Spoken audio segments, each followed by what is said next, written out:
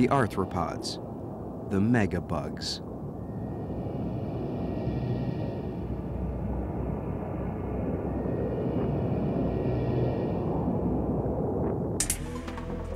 As the battle lines were drawn in the war for world domination, the bugs were well ahead.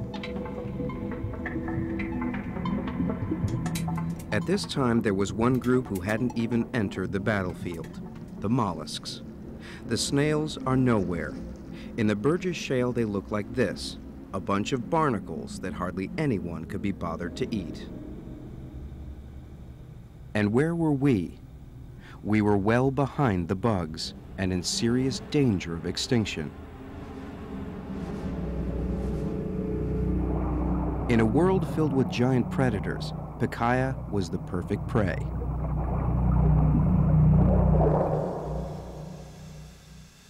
Fossils of Pikaia are extremely rare in the Burgess Shale, less than a tenth of 1% of the total, a dangerously low presence. It is possible for an entire species to be hunted to extinction. You only have to think of the dodo. At the very least, it could point to Pikaia being on the endangered list. How did he avoid being eaten into extinction? Des's colleague Jean-Bernard Caron believes that what he lacked in physical strength, he may have made up for with strategy. Pikaia qui n'a pas de, euh, de défense euh, Pikaia has no physical defenses. He has no hard shell, no spines like most of the animals in the Burgess Shale. But he may have developed a survival strategy. Euh, euh, this strategy involved burying himself in the mud, but keeping a lookout. I think in this way he could have avoided being spotted by any of the giant predators. This might have kept him from the attentions of Anomalocaris, who mainly hunted above the sea floor. Yet Anomalocaris was not the only beast in the sea. He was part of a megabug menagerie called the Dinocarids. Like the dinosaurs, these monsters had a lot of successful variations on the killing theme.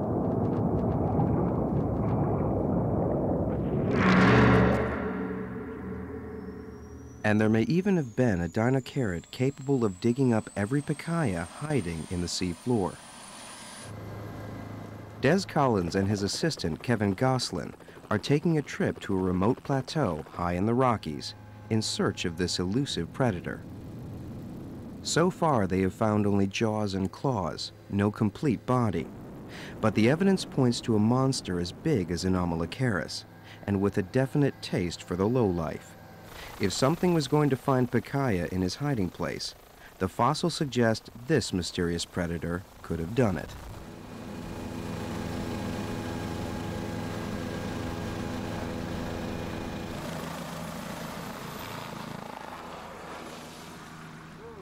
We've been here on, on, previous trips, and on that we found these claws and the jaws of a new dinocarid. We, uh, we know it's new because the, the claws them, themselves have these long, thin uh, spines running from them. So their understanding of this is that these would work together. And the only reason I can see for something like that is that they use them to rake through the, through the mud on the bottom. So I would say this animal uh, was probably feeding on soft-bodied forms rather than feeding on something with a hard exoskeleton on it. Rather than chase other hard-cased megabugs, this guy specifically went after softer targets in the seabed, like buried Pikaias.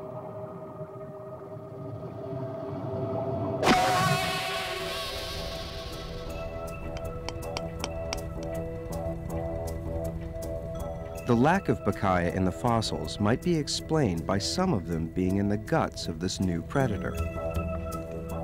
When they find a complete specimen, there may be traces in its stomach that will confirm this one way or the other.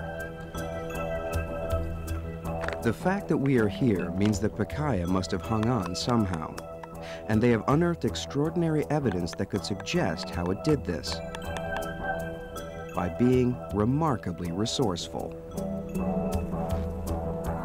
These are the fossilized babies of the megabug Leanchoilia, it's thought that to avoid being eaten by predators or even by their own parents, the babies would migrate away from the main community to grow up in a nursery. a safe haven that Pikaia could exploit. Here, Pikaia fossils were found in the greatest numbers. When Jean Bernard compared the rock bearing these fossils to those of Pikaia, they were a perfect match.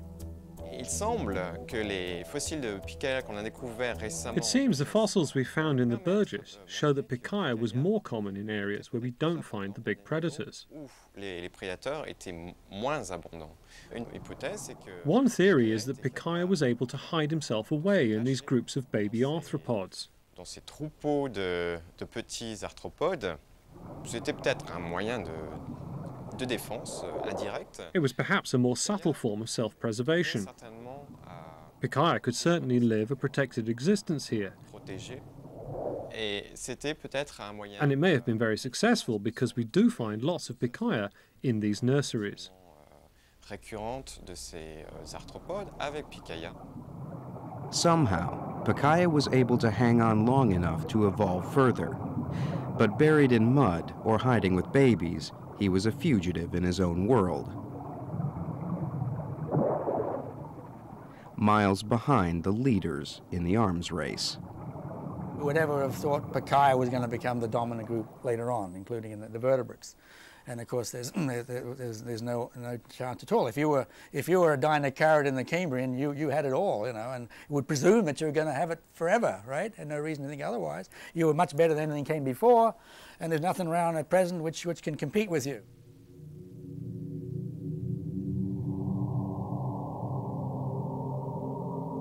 This was the world of the Dinocarids, when the arthropods ruled the seas in a 30 million year reign of terror.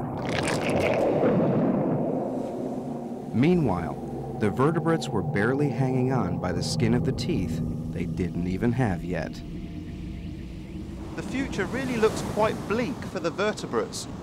You would probably anticipate that this was going to be an arthropod dominated world.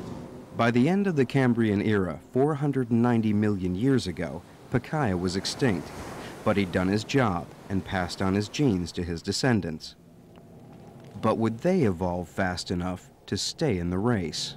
In order to be able to compete with the arthropods, with the vertebrates, they're going to have to fight back.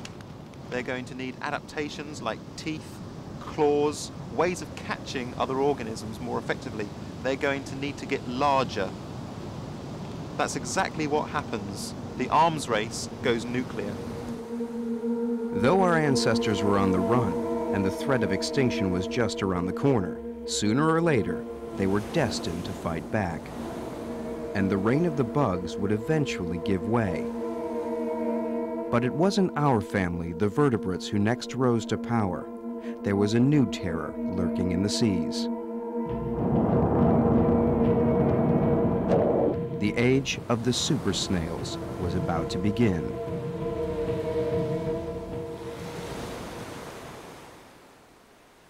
Having narrowly avoided annihilation at the hands of the megabugs, it was the turn of the super snails to put us under sentence of death. The second great battle would prove to be the toughest fight of our evolutionary lives.